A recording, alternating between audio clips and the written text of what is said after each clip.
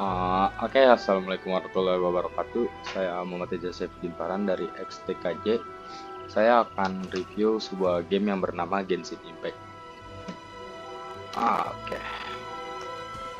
Untuk dari segi gamenya, dia ini RPG ya, jadi dia kayak berpetualang gitu kan. Terus lawan musuh Kebetulan saya juga pemula baru main juga. Contoh sebenarnya seperti ini ya kalau melawan musuh itu.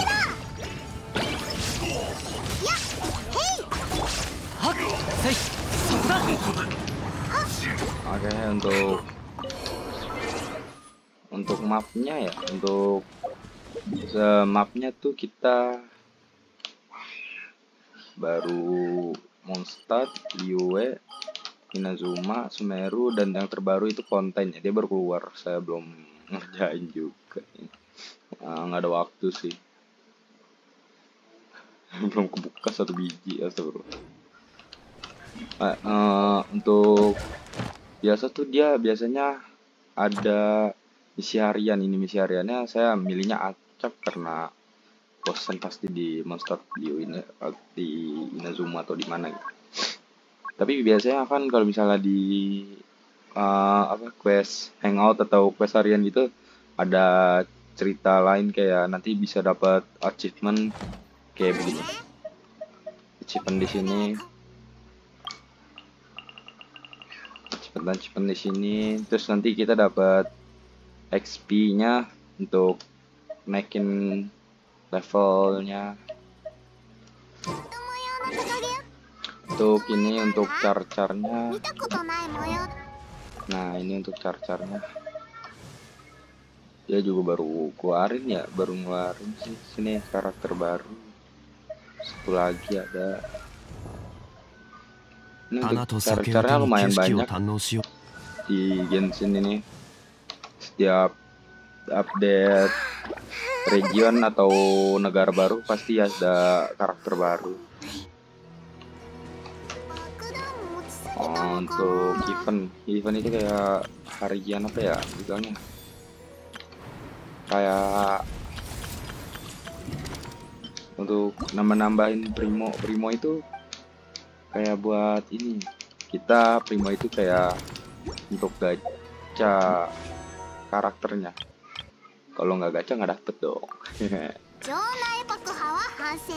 Terus untuk untuk ini kita untuk oh iya di sini juga kita bisa build build karakter ya ini ada senjatanya juga dari mulai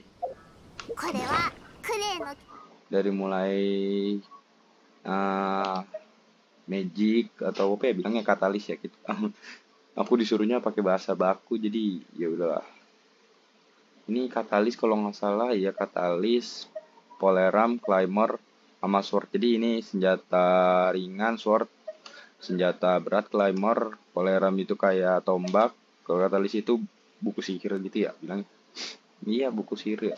Ini untuk uh, senjata-senjatanya banyak sih ya. Kita harus sesuai nama ini karakter misalnya kita apa namanya uh, uh, build karakter kayak ini kayak siapa nih? Bilangnya wanderer uh, biasanya disebut wawan ya. Ya senjatanya pakainya sesuai statnya sih. Cuman kalau misalnya ini nyambain apa namanya misalnya untuk karakter apa uh, buku lain bisa. Kayaknya dia dikasih dikasih dodo tales sama ini. Yang penting kita statnya kayak statnya attack, speed atau charge. Yang biasa dipakai soalnya kan skillnya dia kayak terbang gitu. Terus habis itu dia kayak uh, lempar-lemparin charge attack atau skill basic biasa kayak klik cuman kalau klik lebih kepake iya sih charge attacknya. Oh ini untuk attacknya Terus ini artefak untuk build-buildnya ya. Nanti kita bisa lihat di sini nih rinciannya. Kita harus kayak nyari crit rate yang seimbang gitu crit rate crit damage seimbang sama uh, apa namanya intinya uh, sebutuh karakternya sih dan kalau misalnya ini kan kayak nih kita ah nggak usah tes damage deh intinya kayak gitu aja deh.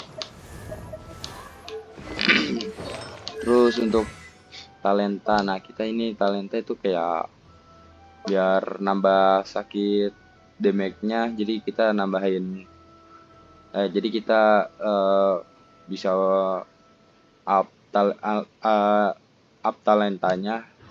Jadi kita talenta juga ada materialnya sendiri kayak di sini untuk di Liwe itu ada buat char dari Liwe juga tapi nggak tergantung dari char Liwe juga sih. Shieldnya dari Liwe juga ngambilnya ke monster. Untuk si si siapa namanya? Wanderer saya nggak tahu di mana ya lupa.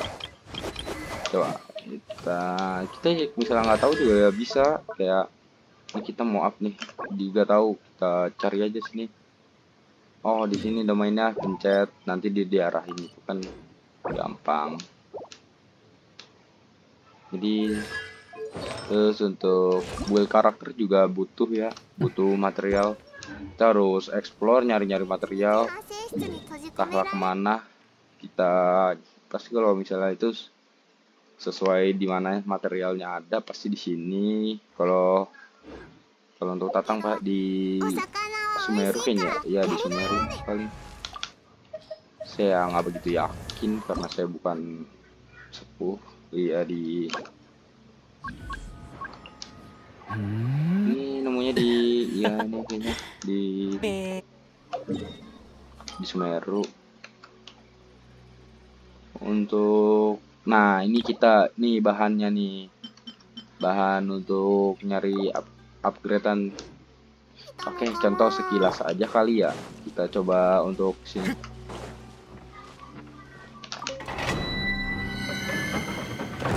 ini contoh sekilas untuk Oh, ini UI-nya udah baru ya? Iya nih. Kemarin baru update, sekarang UI-nya jadi bagus. Boleh lah. Oke, udah. Ya, kita coba dulu mulai. Kita tuh setiap ini beda-beda. Oh ya, kalau ini khusus untuk artefak ya. Ini untuk artefaknya saya nyari buat sebenarnya buat numbalin ini sih. Kalau misalnya jelek numbalin ke oh atas itu.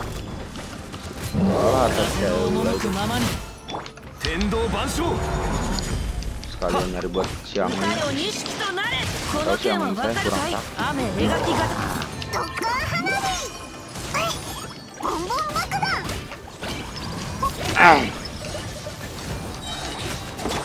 ないのかそこだ Maaf ya bukan terpukul. Kenyo Banjak.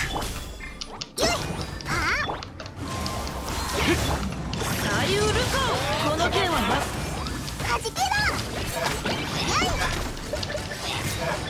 Ugoku beki da. Oh, kena mati. Oh. Nah, ini nanti kita akan ngambil nih. Se, ngambil. Oke, kan udah ngambil nih kita lihat kayak oh ini statnya nih ada stat kayak elemental mastery dev xp energi recharge terus attack terus crit damage crit rate kita nyarinya golden ratio paling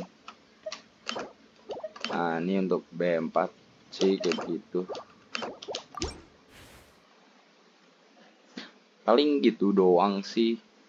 Kalau untuk review karakter itu.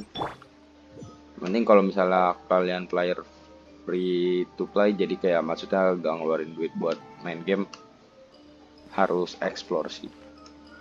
Ah maaf kalau lihat map harus oke. Okay. sekian dari saya. Wassalamualaikum warahmatullahi wabarakatuh